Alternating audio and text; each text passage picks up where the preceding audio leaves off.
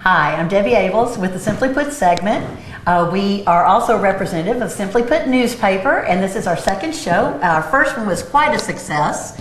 And I'm here today with one of my very good friends, Gary P. West. We always call him Gary Precious West Well, and, and, until I changed my name. until he changes his You know, name. one of the luckiest days in my life was when I met you. and, be, and just being here with you now You is lucky. unbelievable. You are. You're very, very lucky. I, you know, here I am. You've got a TV show and you're putting out a publication, and I've written a few books. What a combination. I'm telling you, we've known each other since tourism days. Gary Yeah. was the executive director of my competition, Bowling Green, Warren County.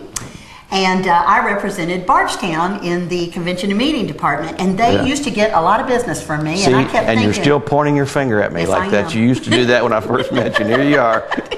18 years later, you're still going still after doing me. it. He still made me mad. He We're would- having fun today, though. yes.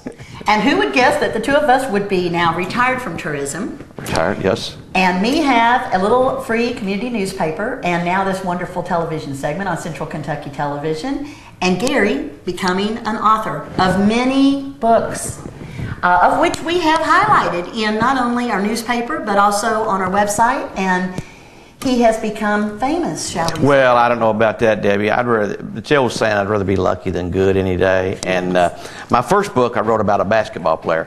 I have a sports background. I was tourism director, and then I was in the athletic administration at Western Kentucky University for 13 years Right. and broadcast basketball games. And then in my college days, I was a sports editor to the Kentucky Cardinal at the University of Kentucky for a semester. So I, I know sports a little bit. And King Kelly Coleman, the most legendary basketball player to ever played in the state of Kentucky. For you younger folks out there that don't know about King Kelly, Right. it's a great read. He still has every scoring record in Kentucky after 50 years. That's true. People say, oh, it's Richie Farmer, or it's Daryl Griffith, or it's uh, whoever. Kelly Coleman, King Kelly Coleman is the guy. So I get, I, I wrote the book on King Kelly, and there's two things we like as Kentuckians. We like basketball, right. and we like to eat. Now I don't know what order they come in, but I started out with basketball, and then my second book, I, I wrote "Eating Your Way Across Kentucky: go. 101 Must Places to Eat." I didn't say I didn't say they were the best places, but it's- they're they're fun places, and you can go into these restaurants and expect a reasonable meal at a reasonable price. You can always expect something good. And it's Kentucky Uh, food. It's Kentucky food. There's no chain restaurants in my books. See. They are fun places to, to eat at. I, I'm trying to think around here uh, in Bardstown, there's Kurtz's and Kreso's. Right. Uh, in Lebanon, there's Hennings, and in Raywick, there's uh, Missy's Out of the Way Missy's. Cafe. And boy, that is aptly named. Yes. Out of your way. I'm telling you right now. And then I have over at Springfield a place I just enjoy going, Mordecai's. Mordecai's is great. So there's a lot of places in the area, and That's right. Elizabethtown back home. So you can get out and you can take these books. And we have people, when I say we, my wife and I, Deborah, Right. we have people to call us and come by the house for us to sign the book. They've gone to all of the restaurants all across the state. It's taken them two years to do it, and they've gotten them signed, and they wrote down what they ate. and right. so it's just, it's a fun travel book. This is probably, I would guess, maybe your bestseller because it is unique and because they actually have it with them in the car and It, and, it and is, it is the bestseller. In fact, that's the, you're holding up the second edition of it, Yeah. the updated version of it. Revised. So so I finished writing that book, and I got back, and some of my friends in Bowling Green, where I live, said, "Boy, we sure would like to have some recipes from those book uh, from the, your book." So uh, I went back, and I wish I'd have gotten the recipes when I was doing the book. But and the and it's a flat book that See, has the got 'em marked, spirals. and it lays flat. You don't have to use an right. iron or a mixer to lay down to hold it open. It's truly a recipe book. Uh, and my wife has cooked quite a few of them that are in there, so I did the recipe Yes. book. Well, we featured uh, some of the Uh, recipes in here and have given you and the restaurant credit, you know, and hoping that they'll head out that way and try it. And there's a there's a gentleman actually here in Bardstown who has his recipe in here. I don't know. You may know him, Ken Abels. Ken, Ken has a steak oh, I'm telling you right now, he's got a diet menu to diet for. Yes, Yeah, right biggest steak you can find and eat all of it. Yeah. and and he calls I think a flat iron steak because Yeah. he takes an iron and sits down on it and calls it a flat iron he's steak. on page 82. Oh, we- he tries to autograph it all town. Well, and then uh, and then we we Great got back from that. And Debbie, I had some people says, "Well, now we're out eating and we're doing all this stuff. Where are some neat places to shop?" Was it this one? So I did a book, "Shopping Your Way Across Kentucky," Right. uh, that has been relatively successful. And then I came back. Excuse me. And, and a lot of stores in uh, our central Kentucky area are highlighted. They they they are. Uh, it's a. I got places in here that you might not think about going to in communities, and so a person can say, "Well, we're out here eating at this restaurant. Where can we go? Spend a little money." So we got this one. So I finished that one, and I had some friends to say, well, "What about some places to, uh, that we can go, like on vacation?" I love that. So I did the 101 must places to visit in Kentucky before you die. Yes. So uh, uh, I've, I've run the gamut with those, but then I wanted to get back to basketball. Right. And some of your listeners may be old enough to remember the ABA, American Basketball Association, Kentucky Colonel basketball When team. were the years that that They were there from 67 to 76, Oh, nine yes. years. And they featured, they were owned by Joe and Mamie Gregory. Uh, they were owned by John Y. and Ellie Brown. Okay. Uh, Adolph Rupp was actually their president for a year. Okay. Dan Issel, Louis Dampier, Mike Pratt, Darel Carrier, Bobby Rascoe, Artis Gilmore. It goes on and on. Some of the great names in the history of basketball in Kentucky played for the ABA? Kentucky Colonels. This book has just been out a few months. Yes. I am so honored that in the Louisville Courier Journal it's been featured for something like 14 weeks in the bestseller list. It has, and it's been number one. It was number one for a couple of weeks too. There you go. And uh, I, I got to pinch myself Kentucky when I think that I've got a number one bestseller, uh, even if it's in just in Kentucky. Doesn't matter. uh, uh, but one of the things that I'm really proud of too, Debbie, is all of the books. Acclaim Press prints them. A lot of times, dust jacket gets torn and you don't know what the book Yes. is. All of these are quality books Yeah. that have the, the reprint on here on That's the true. actual cover itself. So, uh, you know, so everybody says, what's next? Well, I've got a couple of going and uh, books going. I'm working on one. Athletic Family in Corbin, Kentucky, the Selvy and the Bird family. Uh, some of you sports listeners might know them. And then I'm doing a book on the history of the Beaumont Inn. Oh. The Dedman family has uh, contracted with me. That's a wonderful that. place. Yellow Leg Chicken. That's yellow leg chicken and two euro country ham. I love it. I love it. And then I've got another book that could be a national selling book that I'm not ready to tell I know about what it's about, yet. but I'll be yeah, quiet. That just yet. So, so uh, and then some of the people said, you know, I wrote my Eating Your Way Across Kentucky book, and then well, I thought about maybe eating. Why not do one drinking your way across Kentucky? How about and hit some of the sleeping your way well, across and then sleeping way. The drinking, the drinking book would be about pubs and That would be neat bars and That bourbon bars, and then the sleeping could be about B and B's and neat little places, nice the mom way, and pop out of the way hotels, cabins, and everything. farms. So, uh, they, there's some of the, the- farms yes. you can stay and Yes. that type of rural. We are thrilled to have you here with March Madness going on. Well, uh, it, and it uh, it seems like every month's madness now, but isn't this wild? The basketball and the Kentucky teams. Have you got a favorite? Kentucky, well, University of Kentucky. Right. Now I have to confess, I was for Western in that game. I'm Oh, a yeah. University of Kentucky graduate, but for 13 years I got a paycheck from Western, Western. Kentucky University from broadcasting their basketball games.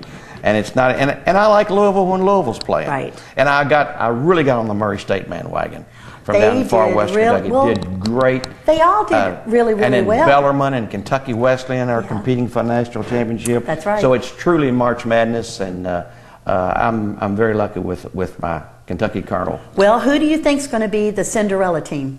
I, we thought it was Lehigh until last night. Well, uh, you, you've got to look at Ohio University right now. okay. That's in there. I, I was, uh, of course, Lehigh had knocked off Duke, but Ohio right. University. You know, uh, some of our listeners may be from Ohio. Do you realize that four teams from Ohio and are still in the Sweet 16? That's great. You got Cincinnati, you got Xavier, you got Ohio State, and you got Ohio University, and they're still there. But we're all about Kentucky. That's true. And Kentucky's going to win it all. you think? Uh, there's no. All right, I'm counting There's no it. question. Since nobody mind. from Georgia's playing, and that's my hometown, who are much better at, bas- at football than basketball, trust me. Well, they are right now. I can remember when I moved here, it was like 86, and we had moved into an apartment because we were looking for a home, and we hadn't found one yet, so we just stashed everything in storage, and the people across the hall called us up and said, we're having a, a party tonight, and we've got the game on. Do you want to come over? And we said, well, we would love to. And we walked in, it was basketball, and we went, basketball? Because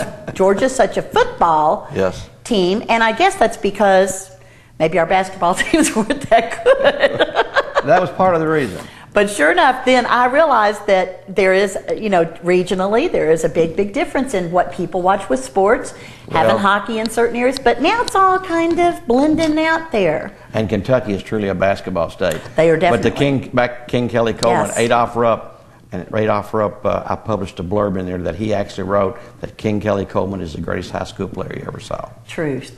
And that's uh, and Joe B. Hall told me once I had got Kelly to be on the Joe B. and Denny radio show, and Joe B. Said the only autograph I've ever wanted in my life was King Kelly Coleman. Did he get it? And he got it. He got it. So he got it. Yes. Well, and he really, uh, the, the fa- thing that I found fascinating too was the fact that he really slipped off the radar and was almost, I don't want to say a hermit, but well, he, he was. He's low-keyed guy and doesn't talk too much.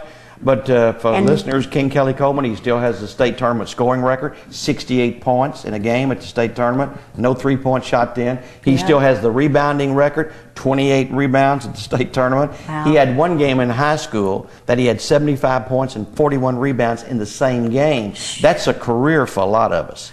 Well, and is he, had it in one game. Is he out a little bit more? He is out a little bit more. you're doing a thing with the, um, uh, is it champions or heroes of the of Hall- Kentucky Hall High of- School? Hall of Fame Hall of deal, Fame? and he is out, and he's making himself more visible. Uh, he spends some of his winters for a couple of months in Florida, and he gets back here. But uh, I'm still have contact with him, and, and he's he's out and about, and the book has really helped him too. And you've really, you really had a job getting him to come and out of being a it recluse wasn't easy. and to actually. I spent let several you. months tracking him down where he lived at the Yeah. time. And then he let and you then I- write it. And then, uh, yes, he told me right in the middle of it, he said, Gary, I've decided I'm not going to do the book. I said, Kelly, you've got to. He said, no. I said, well, Kelly, I've put enough time into this that I'm going to do the book with or without you. With or without you. but it'd be a lot better book with you. And he said, okay, I'm going to do it. And now he's happy that he did He's it. very happy. His family's happy. He's from Wayland, Wayland, Kentucky, up in Floyd County. Oh, wow. And played at Wayland High School. But what a player! He's the most career points ever scored by a prep player. The closest to him is uh, almost a thousand points behind him. Oh my goodness. That's how much he averaged 48 a game his senior year. So he was some kind of player. Made All American. He was the number nine player drafted in the 1960 NBA draft. He was the number one high school player ranked ahead of Oscar Robertson and Jerry West. Wow. And he had some problems. He had a lot of personal problems, and they caught up with him. So he was never a great pro, but he was a great college player. Well, let me ask you this. If I were watching the show and I wanted to get in touch, you know, with you, or how would I find the books? I know some of them are carried at the state parks. They're carried at state parks. They're carried at uh, Joseph Beth, Barnes Noble. Used to be at Borders also. Some of the gift shops around uh, and bookstores do carry them, or they can email me. They can get uh, get in touch with you directly, or you could you Yeah. could get in touch with us at Simply Put Newspaper. We Yeah. could give you Yeah. Gary's email address, but uh, we will be posting in our paper uh, the list of his books and also how to get in touch with him. Uh, and then too, if uh, you if you are in Bowling Green or in that general area or, or outside of Central Kentucky and are interested in watching the show and, and knowing a little bit more about, you can see uh, this interview on the web on centralkentuckytelevision.com during the times that the Simply Put newspaper is Yeah. uh, the segment is actually scheduled. And we do keep that schedule in our paper every Friday. You can pick up a new paper and it's on the back page and is updated every month. So Debbie, I keep a, a, several of these books on hand, and people want me to autograph them for Sure. people's birthday, Mother's Day, Easter's Father's. Day, Easter, anything. And I write little personalized notes to them, and I mail them out so they'll email me, and uh, I, I send them out to them like Well, that. I've never had any trouble. We have given your books away in our contest, our lips contest in the in the uh, paper, and I can tell you, anytime I offer one of Gary's books, we have a flood of uh, people filling out the form who found the lips and want that book. So, Well, like I said, one of the luckiest days was when I met you, and I'd rather be lucky than good anytime. thank you. Well, we are thrilled to have Gary with us today, and surely you all will enjoy his books as much as we have. Whether you're a sports fiend or you're interested in traveling and seeing the back roads of Kentucky, Right. Uh, by all means, get in touch with him, and we hope that you'll turn tune us back in because we will have you back many times. I would like that. Thank you. Thank you.